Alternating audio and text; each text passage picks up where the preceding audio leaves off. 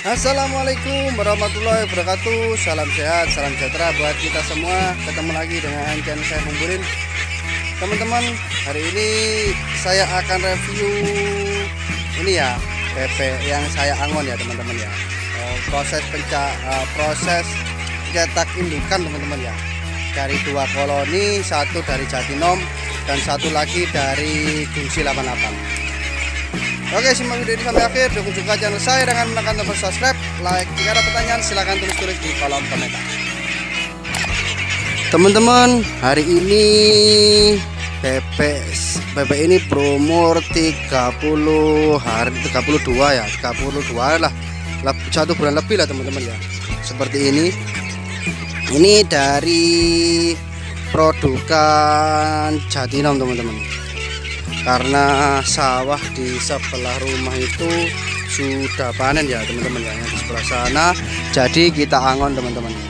Ini untuk tahap belajar kemarin sudah kita ajari menggunakan menggunakan uh, menggunakan gapa ya teman-teman ya.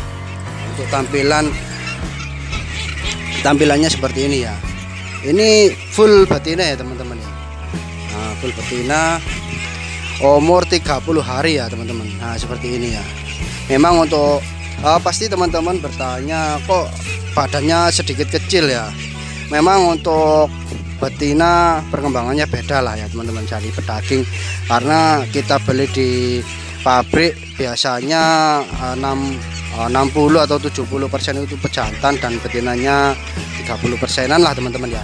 Jadi ini tak ambil betinanya saja teman-teman di umur 30 hari ini dari Jatinom teman-teman. Yang ini ya.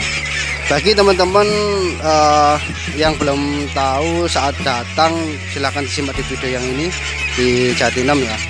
Proses pencarian keuntungan di saat panen ya teman-teman ya. Nah seperti ini teman-teman. Untuk bodinya seperti ini ya. Sudah mulai keluar bulu-bulu putih ya teman-teman. ya ada yang sebagian juga yang bulunya masih sedikit. Nah seperti ini teman-teman. Untuk badannya sudah mulai bundar ya teman-teman ya. Sudah bagus sudah kelihatan kalau memang pabrikan uh, ini dari asli dari Jatinom teman-teman. Dan yang di sebelah ini dulu selisihnya satu mingguan teman-teman. Nah, satu mingguan. Siapa sih ini dari gungsi teman-teman ya. Dari gungsi. Ini juga sudah kita angonkan tadi. Untuk tahap pembelajaran memang untuk pakan pakan bebek ini tidak terlalu makan ya. Kita bisa lihat untuk tembeloknya saja tidak penuh teman-teman ya. Karena memang di segi belajar untuk cari makan di sawah lah teman-teman. Tapi nanti nanti tetap kita kasih konsentrat dan juga nah ini teman-teman dan juga garam ya untuk me, apa, mengembalikan daya tahan tubuhnya ya teman-teman ya biar nggak mudah sakit teman-teman. Kita kasih air garam ya. Nah, air garam juga. Air garam dan juga air ini air konsentrat teman-teman. Nah, konsentrat. Karena memang mereka ini kan dari 0 sampai 30 hari kita kasih pakan konsentrat dan lain-lain ya. Jadi agar uh, nutrisi dan proteinnya tetap kita jaga agar tidak uh, mudah terkena penyakit ya intinya tidak kaget lah teman-teman.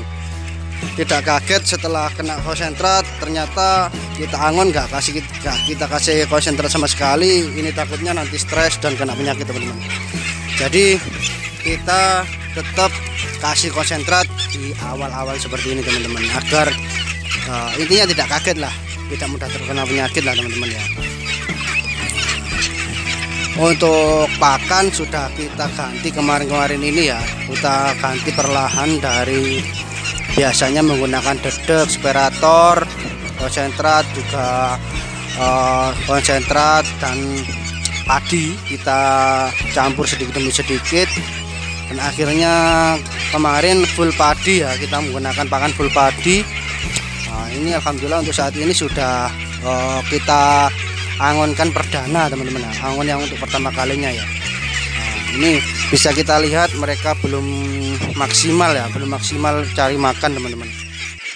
Bisa kita lihat untuk tembelok-tembeloknya masih kosong teman-teman ya seperti ini ya. Nah, untuk tembelok mereka belum belum paham belum paham benar-benar paham untuk cari makan padi di sawah ya teman-teman. Tetapi ini nanti tetap kita kasih minum konsentrat campur garam teman-teman. Ini konsentrat campur garam nah kelihatan ini Kenapa tidak kita pasti ada teman-teman yang bertanya kenapa gak kita kasih pakan lagi menggunakan dedak dan konsentrat. Jadi karena kita e, nanti akan mengangon dengan pakan full pakan padi teman-teman. Jadi kita tidak biasakan lagi tidak kenal intinya tidak kita kenalkan lagi dengan dedak atau konsentratnya langsung ya. Jadi ini untuk menjaga nutrisi proteinnya tetap kita berikan konsentrat teman-teman tetapi tidak untuk pakan uh, untuk minumnya saja ini di bebek yang jatinom teman-teman ya. Nanti kalau sudah habis nanti kalau sudah habis yang itu kita kasih lagi uh, tempat minum dan tambah konsentrat lagi teman-teman. Dan ini yang gungsi masih tidur ya. Ini baru datang ini teman-teman ya jangan yang kedua ini tadi ya yang gungsi ini teman-teman ya. Ini yang di dari gungsi ini umurnya hampir 30 hampir satu bulan belum satu bulan ini teman-teman. Nah, hampir belum satu bulan jadi sebenarnya sudah apa ya untuk perkembangannya hampir sama sih ya. Nah kita lihat ya hampir sama ya besarnya ya. Ini tiga ini satu bulan lebih dan ini belum satu bulan hmm. Ini masih istirahat dulu habis angon lari-lari. Nanti kalau sudah apa ya sudah minta makan kita kasih minum dengan konsentrat yang seperti ini lagi teman-teman. Nah begini caranya.